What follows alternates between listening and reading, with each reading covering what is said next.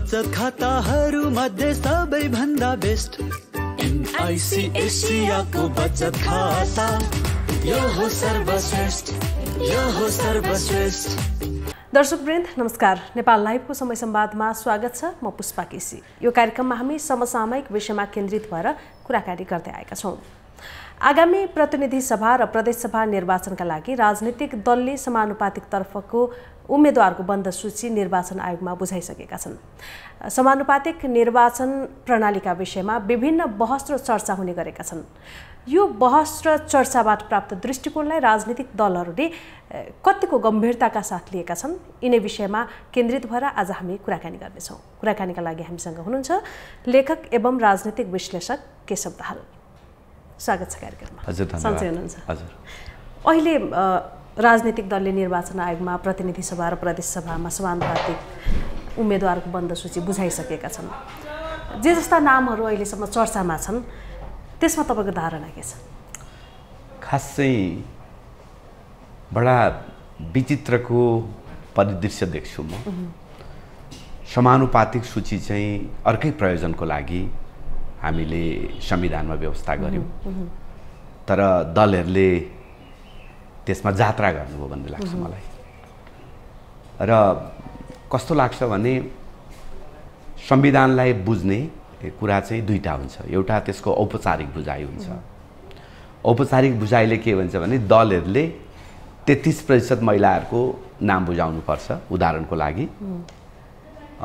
समयमा बुझाउनुपर्छ क्लस्टर मिलाएर बुझाउनुपर्छ औपचारिक संविधानको स्पिरिट यो हो। तर त्यसको अनौपचारिक स्पिरिट के हो भने त्यसमा न्याय हुनुपर्छ। होइन? महिला कस्तो महिला पठाउने होइन? त्यसमा सुविचारित हिसाब- हिसाबले दलहरूले निर्णय गर्नुपर्छ। यो मुलुकमा को विधायिकी ठाउँमा कस्ता महिलाहरू जान आवश्यक हुन्छ र चुनावमा प्रतिस्पर्धा गर्न जो सक्दैनन् तीमध्ये को त्यहाँ पुग्नुपर्छ? उहाँहरूको लागि चाहे त्यो महिला अथवा हामी जनजातिको कुरा गरौँ अथवा दलितको कुरा गरौँ होइन? संविधानको स्पिरिट चाहिँ त्यो हो।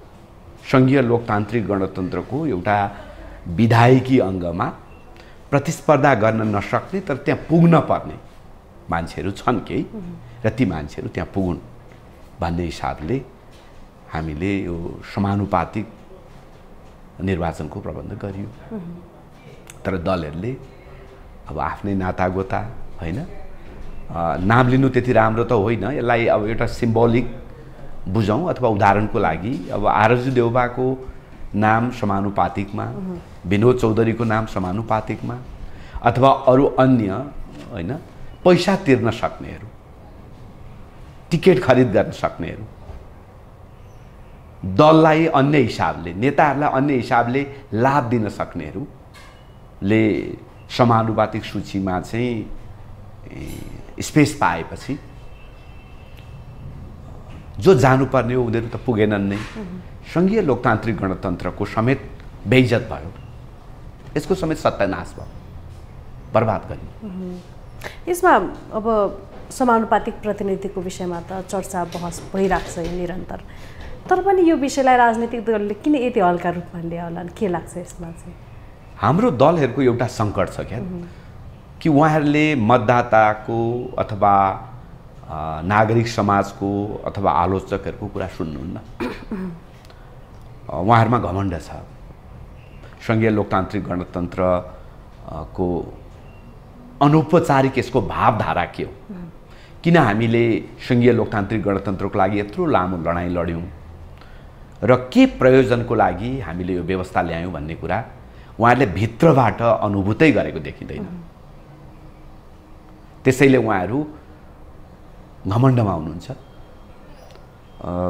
मतदाताहरूको आलोचकहरूको प्रश्नलाई आलोचनालाई उहाँहरू गाली ठान्नुहुन्छ र अनुभूत गर्ने उहाँहरूसँग त्यो क्यापासिटी त्यो शक्ति त्यो मन रहेन अब। सायद त्यो सत्ताको अथवा शक्तिको अथवा पोजिसनको घमण्ड होला। र यो जे भइरहेछ उहाँहरू जुन प्रवृत्ति देखिँदैछ यसले उहाँहरूको विनाशतिर लाँदैछ। यसले त समानुपातिक प्रतिनिधित्वको विषयलाई पनि हल्का रूपमा प्रस्तुत गरिरहेछन् होइन? यी राजनीतिक दलहरू र राजनीतिक नेतृत्वकै कारण यसलाई। उहाँहरूले त तपाईँको पहिलो कुरा त सङ्घीय लोकतान्त्रिक गणतन्त्रलाई नै उहाँले हल्का बुझ्नुभयो। होइन? यसलाई जीवन पद्धतिको रूपमा बुझ्दै बुझ्नु भएन एउटा संस्कृतिको रूपमा बुझ्दै बुझ्नु भएन। सँगै अब यो निर्वाचन भनेको नि उहाँहरूले हल्का रूपमा बुझ्नु भएको छ। निर्वाचन भनेको उहाँलाई के लाग्छ भने सरकार बनाउने काम मात्रै सरकार बनाउने काम हो भोट त हालिहाल्छन् मान्छेले। उहाँले त्यसरी बुझ्नुभएको छ मान्छेका के प्रश्नहरू छन् मान्छेका के अपेक्षाहरू छन् मान्छेका के सपनाहरू छन् ती सपनाहरू पुरा गर्नको लागि यो संविधानले जुन स्पेस निर्दा निर्माण गरेको छ त्यो कसरी कार्यान्वयन हुनसक्छ त्यसको लागि हामीलाई कस्तो राजनीति चाहिन्छ कस्ता नेताहरू चाहिन्छ कस्तो दल चाहिन्छ र त्यो सबै चिज गर्नको लागि हामीमा के बदलाव आवश्यक छ? त्यो नेताहरूले सोच्ने कुरा त त्यो हो नि। युग फेरियो त्यत्रो आन्दोलनपछि हामीले नयाँ व्यवस्था त ल्यायौँ। त्यो नयाँ व्यवस्थाको नेतृत्व गर्नको लागि नयाँ नेतृत्व खोजिरहेछ नेपाली जनताले। र त्यो नयाँ नेतृत्व चाहिँ हामी हामी कि त बदलिएर नयाँ नेतृत्वको त्यो त्यो अपेक्षा पुरा गर्नुपर्छ। त्यो हो नि त नेताहरूले सोच्ने। अब हामी पुरानो जस्तो भएर हुँदैन है।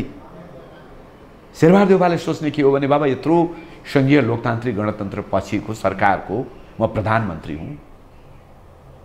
म पञ्चायतकालका प्रधानमन्त्रीभन्दा फरक देखिनुपर्छ। म प्रजातन्त्र कालका प्रधानमन्त्रीभन्दा फरक देखिनुपर्छ। यत्रो नयाँ पुस्ताहरू आउँदैछ। यिनीहरूको अपेक्षामा म खर उत्रिनुपर्छ। सोच्नुपर्ने यसरी होइन र? सोच्ने र बदलिनु पर्ने हो तर। त्यसको केही स्थानीय तह निर्वाचनमा पनि अलिकति राजनीति जुन परिणाम थियो स्वतन्त्रप्रतिको जुन झुकाव देखियो नागरिकहरूमा त्यसले पनि केही अलिकति सुध्रिन्छन् कि राजनीतिक दल र त्यसको नेतृत्व भन्ने एउटा खालको अपेक्षा थियो। यसको प्रभाव कतिको परेको देख्नुभयो त्यसमा? भित्र त अलिकति त्रास त पक्का होला होइन? तर हाम्रो गुनासो नै त्यही हो नि नेताहरूप्रतिको कि के हो उहाँहरूको? कमसे यत्रो देश दुनियाँभरि आलोचना छ प्रश्नहरू छन् दबाब छ तिमी बदलिनुपर्छ है भनेर मान्छेले भनिरहेछन् कराइरहेछन् चिच्याइरहेछन्। किन सुन्दैनन् नेताहरू? किन सुन्दैनन् भने घमण्ड छ। मै त हो। शासकको एउटा मनोविज्ञान। अझै एउटा रोचक मलाई त कस्तो लाग्छ भने हामीले सामन्तवादी व्यवस्था राजनीतिक भाषामा भन्दा सामन्तवादी व्यवस्थाको विरुद्ध आन्दोलन गऱ्यौँ र एउटा उदार लोकतान्त्रिक गणतन्त्र ल्यायौँ। तर हाम्रा नेताहरूमा सामन्ती चरित्र सकिएन। सामन्ती चरित्र भनेको के हो भने उसले देश दुनियाँ बुझ्दैन। आफ्नो जुगामा आफ्नो सत्तामा आफ्नो नाममा आफ्नो वंशमा घमण्ड गर्छ क्या। त्यो सामन्ती चरित्र हो। हाम्रो नेताहरूमा के छ? मेरो पार्टी छ म छु म सभापति हुँ म चारचोटि प्रधानमन्त्री भएँ तिनचोटि प्रधानमन्त्री भएँ पाँचचोटि प्रधानमन्त्री भएँ। अनि मलाई प्रश्न गर्ने को हुन्? नाथेहरू। मैले यिनीहरूको प्रश्न सुन्नुपर्छ र त्यो प्रश्नको जवाब दिनुपर्छ भने के छ? यो ठ्याक्कै सामन्ती मनोविज्ञान यो हामीले दुई हजार चौसठी सालपछि मिश्रित निर्वाचन प्रणाली अप्नायौँ। जुन अपेक्षाले यो निर्वाचन प्रणाली परिवर्तन गरियो। त्यसको राजनीतिक दलले बढी सदुपयोग गरे कि बढी दुरुपयोग गरे दुरुपयोग भयो। जग जाहेर छ। सफेद तपाईँको सिधा सिधी तपाईँको देखिन्छ चित्र। तपाईँ जस्तो समानुपातिक सिटमा को आए तपाईँले हेर्नु न योभन्दा अगाडि पनि? समाजले भन्यो तिमीले त समानुपातिकमा आफ्नै श्रीमती ल्यायो आफ्नै हुँदा हुँदा प्रेमिका पनि ल्यायो। होइन? आफूलाई चन्दा दिने मान्छे चन्दादाता ल्यायो। ती मान्छेले सङ्घीय लोकतान्त्रिक गणतन्त्रलाई के योगदान गर्छन्? नेपालको राजनीतिलाई सुधार्नको लागि के योगदान गर्छन्? तल जनताले नबोलेको जनताको मसिनो आवाजलाई संसदमा सुनाउने जुन प्रयोजन हो होइन पार्लियामेन्टेरियनहरूको त्यसमा के योगदान गर्छन् भनेर हेर्नु हो भने केही पनि योगदान गर्दैन। योगदान के गर्छन् त भन्दा नेताको खल्ती भरिदिन्छन्। नेताको स्वार्थ पुरा गर्नको लागि उनीहरूले सबै काम गर्छन् बाँकी जनताको लागि केही पनि छैन। त्यसैले दुरुपयोग भयो। दुरुपयोग म त यो संविधानको दुरुपयोग भयो सङ्घीय लोकतान्त्रिक गणतन्त्रको दुरुपयोग भयो हाम्रा सपनाहरूको दुरुपयोग भयो। मलाई त कस्तो लाग्छ कहिलेकाहीँ भने हिजो हामीले यही पारा हो भने हिजो हामीले सडकमा बगाएको रगतको मूल्य लिनुपर्छ यिनीहरू हिजो हामीले राजनीति गर्दाखेरि दलमा बसेर जनताहरू बिचमा जसरी काम गरेर मान्छेले तल भुइँका कार्यकर्ताले पसिना बगाए त्यो पसिनाको मूल्य तिर्नुपर्छ हाम्रो नेताहरूले। उहाँहरू जसरी काम गर्दै हुनुहुन्छ। यो समानुपातिक भनेको अहिले त सांसद किनबेचको एउटा त्यो। प्रक्रिया जस्तोको रूपमा हो, चाहिँ देखा पर्दैछ त्यस्तै। यहाँले- तपाईँ पैसा दिनुहोस्। टिकट लिनुहोस्। होइन? पैसा कति दिने तपाईँ को हो त्यसको आधारमा दिनुहोस्। होइन? अब करोडौँको किनबेच। यसले त झन् त्यो प्रभावशाली र जुन वर्चस्वशाली समूह छ त्यस्ता व्यक्तिहरूको संसद प्रवेशलाई झनै सजिलो बनाइदियो। हो कस्तो देखियो भने नि जस्तो यो देश चाहिँ तपाईँ बैसठी त्रिसठीदेखि अहिलेसम्म अथवा कहिलेकाहीँ त्यो छयालिस सालदेखि नै पनि यता हेर्नुभयो भने घुमिफिरी को मान्छे पार्लियामेन्टमा आउँछन् को मान्छे मन्त्री हुन्छन् को मान्छेले टिकट पाउँछन् भने तपाईँले अलिकति फर्केर हेर्नुभयो भने घुमिफिरी पाँच सय मान्छेहरूको गोलचक्कर छ क्या। होइन? यो देश चाहिँ पाँच सय मान्छेहरूले चलाए। तर कसरी चलाए? दोहोन गरेर चलाए। सत्ता र शक्तिको दोहोन। र तिनै पाँच सय मान्छे हुन्। कोही कहिले बालुवाटारमा पुग्छन् कहिले सिंहदरबारमा पुग्छन् कहिले बुढानीलकण्ठमा पुग्छन्। तिनै पाँच सय मान्छेभित्र तपाईँको व्यापारीहरू पनि छन् दलालहरू पनि छन् कमिसनखोरहरू पनि छन्। र तिनैभित्र किनबेच हुन्छ यो सबै? बिहान उठ्दा तिनै मान्छेहरू आँगनमा देखिन्छन् नेताको। तिनै मान्छे हुनु आउजाउ गर्ने जसले तपाईँको चाहिँ जसलाई कसैले रोक्दैन। बालुवाटार छिर्न पनि रोक्दैन। बुला बुढानीकण्ठ ठो छिर्न पनि रोक रोक्दैन। खुमलटार छिर्न पनि रोक्दैन। बाल बालकोट छिर्न पनि रोक्दैन। अहिले यो त समानुपातिक निर्वाचन प्रणालीप्रति नै नागरिकमा एउटा आक्रोश नागरिकहरूले आक्रोश व्यक्त गर्न थालिसके थालिराखेका छन्। यो विगतलाई हेर्ने हो भने र अहिले झन् त्यो बढ्दैछ। यो प्रणाली नै टिकट बेच्न र चन्दा उठाउन पैसावाल र पहुँचवालाका लागि हो भन्ने धारणा पनि त्यो स्थापित हुँदै गइराखेको विकास हुँदै गइराखेको देखिन्छ। यसले दीर्घकालमा कस्तो खालको असर पार्ने देख्नुहुन्छ यसमा? खास समानुपातिक निर्वाचन प्रणाली चाहिँ एउटा सुन्दर अपेक्षाका साथ तय गरिएको प्रणाली हो। सुन्दर अपेक्षा।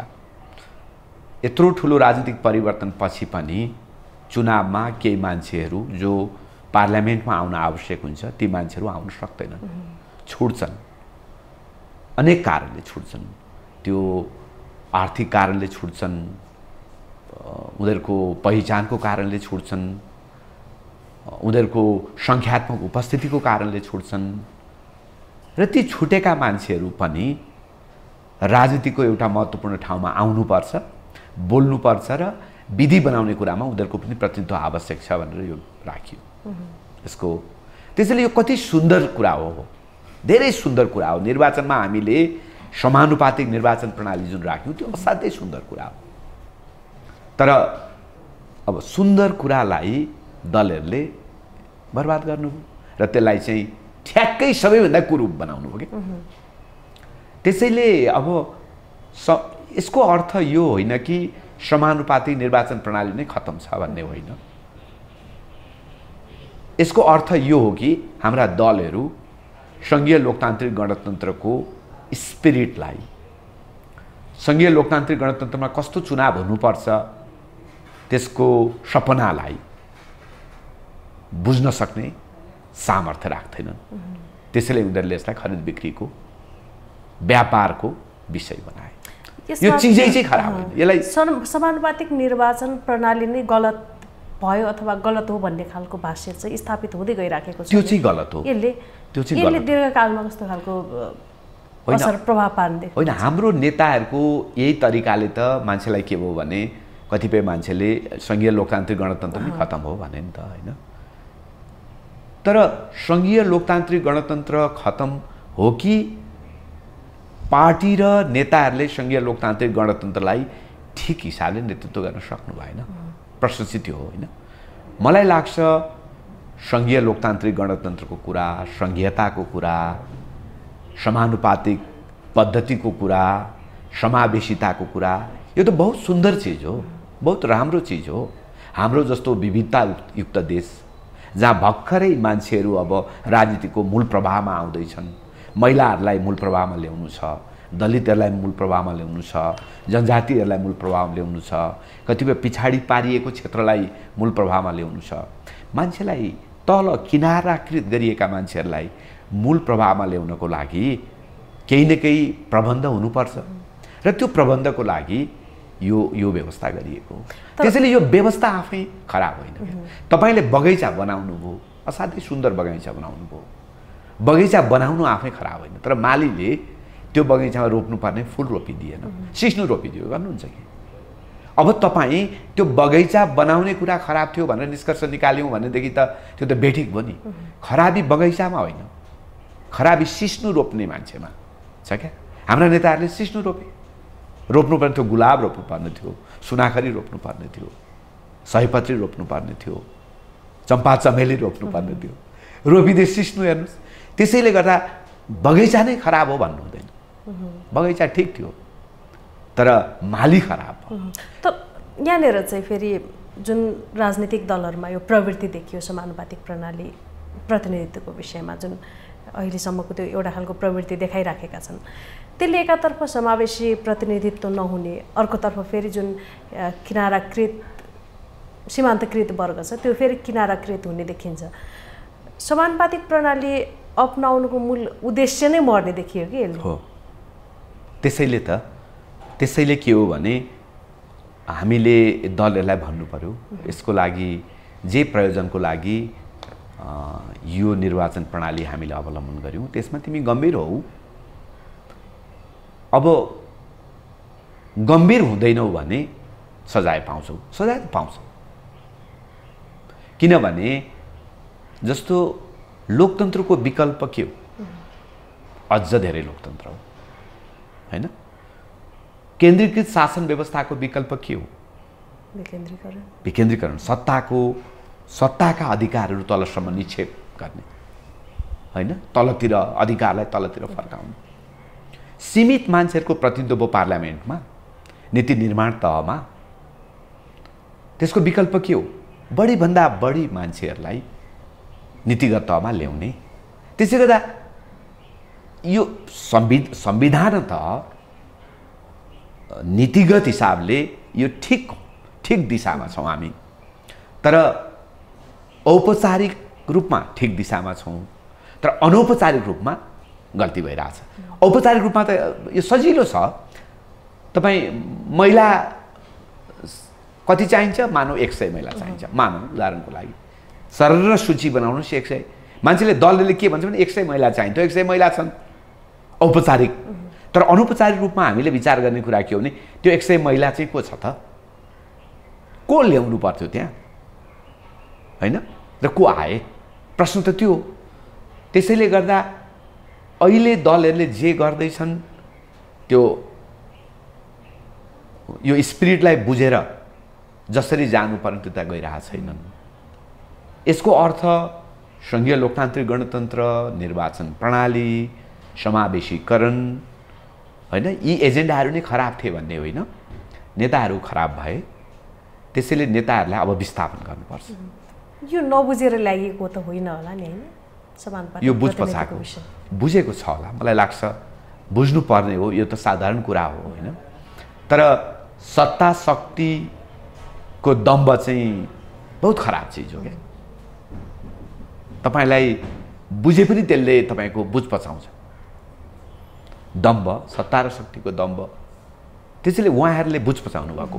उहाँहरूको अहङ्कारले यो सबै गर्दै हुन्छ। मैले मैले भनेपछि किन हुँदैन? भइगयो नि। मानव उहाँहरू झलझली आरजुको अनुहारमा त्यो सबै महिलाहरूको चित्र देख्नुहुन्छ क्या उहाँले? त त्यो होइन होइन। मैले आरजु एउटा उदाहरण मात्रै हो र उहाँको नाम लिनु हामीले स्वाभाविक पनि हुन्छ किनभने उहाँ प्रधानमन्त्री पत्नी पनि हो होइन? उहाँले आफ्नो नाम धेरै आउँदा धेरै रिस रिसाउनु पनि हुँदैन के भने स्वाभाविक हो होइन? तर उहाँहरूको त्यो यस्तो भयो कि त्यो दम्बले गर्दाखेरि म जे गर्छु आइएम द स्टेट भन्छ नि होइन? जब मान्छेले देश दुनियाँलाई किरा मकौडा जस्तो देख्न थाल्छ शासकले होइन?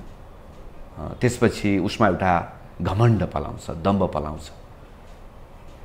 म नै राज्य हुँ म नै सरकार हुँ म नै पार्टी हुँ र मैले जे गरेँ त्यही नै असली न्याय हो भन्ने। त्यही हो उहाँहरूको। त्यो मनोविज्ञानले काम गर्दछ। यो दलहरूलाई फेरि प्रभावशाली नेतालाई नै समानुपातिकमा राख्नुपर्ने बाध्यता किन आइपर्दो रहेछ त्रास हो।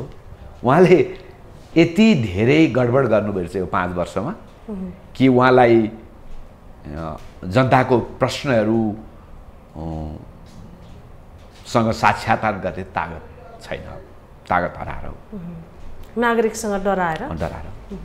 नत्र आउनु पऱ्यो नि पाँच वर्ष उहाँ हिजो सत्तामा हुनुहुन्थ्यो पार्लियामेन्टमा हुनुहुन्थ्यो उहाँले जनता बिचमा काम गर्ने गरेको भएदेखि त्यो डर डराउनु पर्ने के कारण थियो र? तर उहाँ केही पनि गर्नु भएन। खालि के गर्नुभयो अङ्कगणित गर्नुभयो सत्ताको खेल गर्नुभयो शक्तिको खेल गर्नुभयो। सिंहदरबार र बालबाटार गर्नुभयो। मन्त्रालय र पार्टी कार्यालय गर्नुभयो। नेताको चाकडी गर्नुभयो।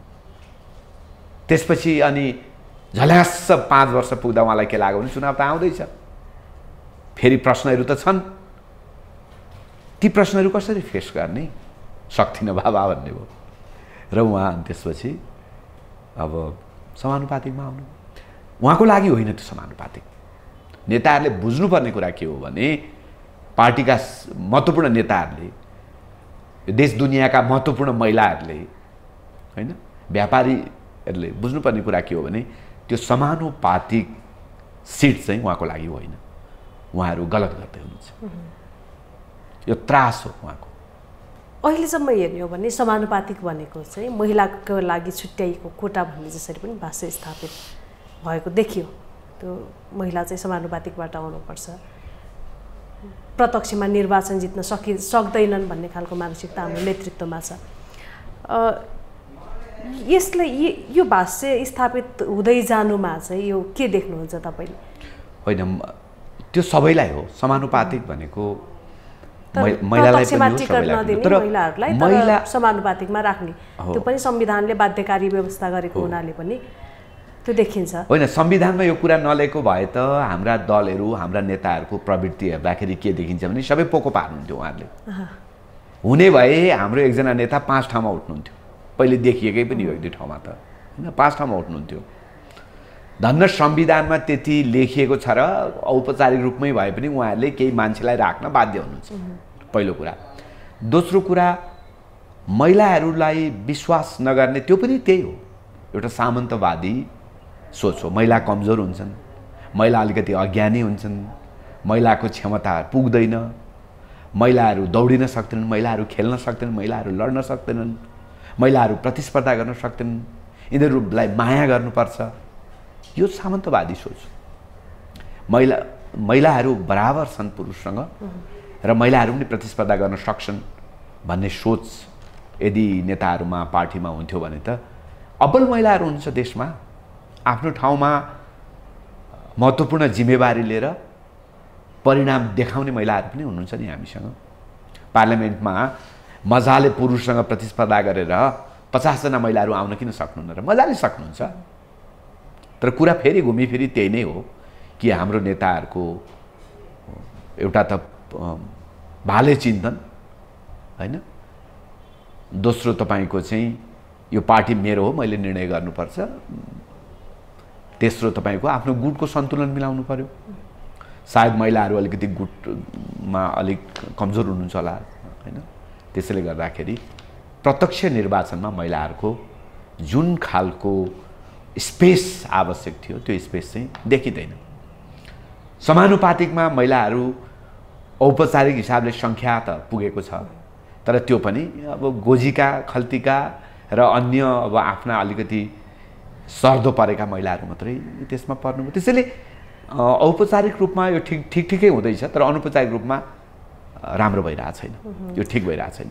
निर्वाचनमा यो उम्मेद्वार बनाउने प्रक्रियामा हामीमा के कस्ता कमजोरी देख्नुहुन्छ? कहाँ कहाँ सुधार गर्न सकिन्छ यसमा? पहिलो कुरा चाहिँ निर्वाचन कतिपय मान्छेहरूले के भन्छन् भने लोकतन्त्रमा निर्वाचन आवश्यक हुन्छ भन्छन् नि होइन?